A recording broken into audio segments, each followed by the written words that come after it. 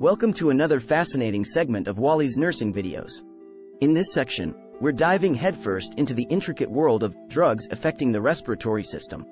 Here, we'll unravel the secrets behind medications that shape the way we breathe, tackling conditions from nasal congestion to allergic responses and asthma. Drug therapy for nasal congestion and cough. In this chapter, we're delving into the art of managing nasal congestion and cough. The airways, often susceptible to irritations and blockages, can be alleviated using various medications. Mechanisms of action, decongestants, such as pseudoephedrine, work by narrowing blood vessels in the nasal passages, reducing swelling and congestion. Antitussives, like dextromethorphan, suppress the cough reflex in the brain. Expectorants, such as guaifenesin, loosen mucus and facilitate its removal from the respiratory tract. Commonly used drugs, pseudoephedrine, decongestant, dextromethorphan, antitussive, guaifenesin, expectorant. Side effects. Decongestants may lead to increased heart rate, nervousness, and elevated blood pressure. Antitussives like dextromethorphan can cause dizziness and sedation. Expectorants may result in gastrointestinal upset and rash. Contraindications. Decongestants should be avoided in patients with uncontrolled hypertension and hyperthyroidism. Antitussives like dextromethorphan may not be suitable for patients taking MAO inhibitors. Expectorants should be used cautiously in patients with renal impairment. Understanding these mechanisms, potential side effects, and contraindications empowers healthcare professionals to tailor therapy for respiratory comfort and symptom relief. Chapter 32 Drug Therapy to Decrease Histamine Effects and Allergic Response. In this chapter, we're delving into the world of managing allergic responses by targeting the effects of histamine, a key player in allergies. Mechanisms of action Antihistamines, like loratadine, block histamine receptors, reducing allergic symptoms such as itching, sneezing, and runny nose. Intranasal corticosteroids, such as fluticasone, alleviate inflammation in the nasal passages, reducing congestion and discomfort. Commonly used drugs, loratadine, antihistamine, fluticasone, intranasal corticosteroid. Side effects. Antihistamines might cause drowsiness, dry mouth, and blurred vision. Intranasal corticosteroids can lead to nasal irritation, nosebleeds, and headache. Contraindications.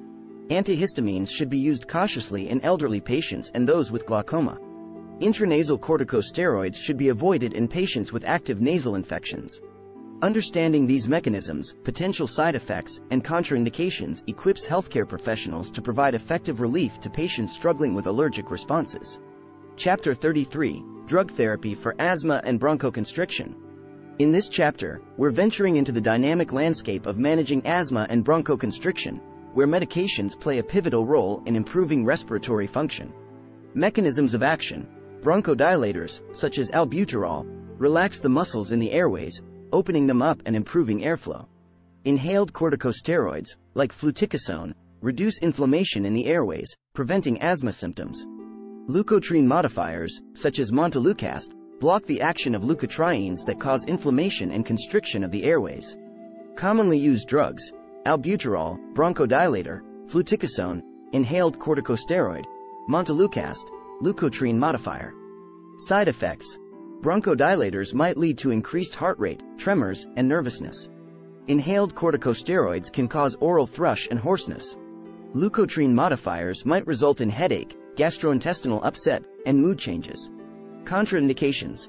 Bronchodilators should be used cautiously in patients with heart conditions and arrhythmias. Inhaled corticosteroids should be avoided in patients with active fungal infections in the mouth. Leukotriene modifiers are contraindicated in acute asthma attacks. Understanding these mechanisms, potential side effects, and contraindications empowers healthcare professionals to tailor asthma management, enhance patient respiratory function, and improve overall quality of life. As we wrap up our exploration of drugs affecting the respiratory system, let's shine a spotlight on some frequently used medications from each chapter and offer tips on how to identify them effortlessly. These medications are essential tools in managing respiratory conditions and improving patients' breathing comfort. Drug therapy for nasal congestion and cough commonly used drugs. Pseudoephedrine, decongestant, dextromethorphan, antitussive, guaifenesin, expectorant. Identification tip. Decongestants like pseudoephedrine often have Sudafed in their name. Antitussives like dextromethorphan are recognized by their longer name, and expectorants like guaifenesin usually end in phenesin. Drug therapy to decrease histamine effects and allergic response commonly used drugs. Loratadine, antihistamine, fluticasone, intranasal corticosteroid. Identification tip. Antihistamines like loratadine often have an adine ending, while intranasal corticosteroids like fluticasone are recognized by their sone suffix. Drug therapy for asthma and bronchoconstriction commonly used drugs. Albuterol, bronchodilator, fluticasone, inhaled corticosteroid, montelukast, leukotriene modifier. Identification tip. Bronchodilators like albuterol often have an OL ending. Inhaled corticosteroids like fluticasone end in sone, and leukotriene modifiers like montelukast often have monty in their name.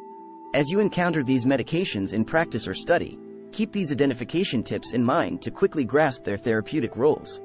Understanding the mechanisms, side effects, and contraindications of these medications empowers you to provide optimal respiratory care and enhance patient well-being. As we conclude our journey through drugs affecting the respiratory system, remember that each medication holds the potential to provide relief, comfort, and improved well-being to patients struggling with respiratory challenges. Stay tuned for more enlightening insights on Wally's nursing videos. Don't forget to hit that subscribe button and tap the notification bell to join us on this educational adventure. Together, we're nurturing the knowledge that empowers you to make a difference in the world of healthcare. Keep learning, keep caring, and keep shining as a healthcare professional. Until next time, take care.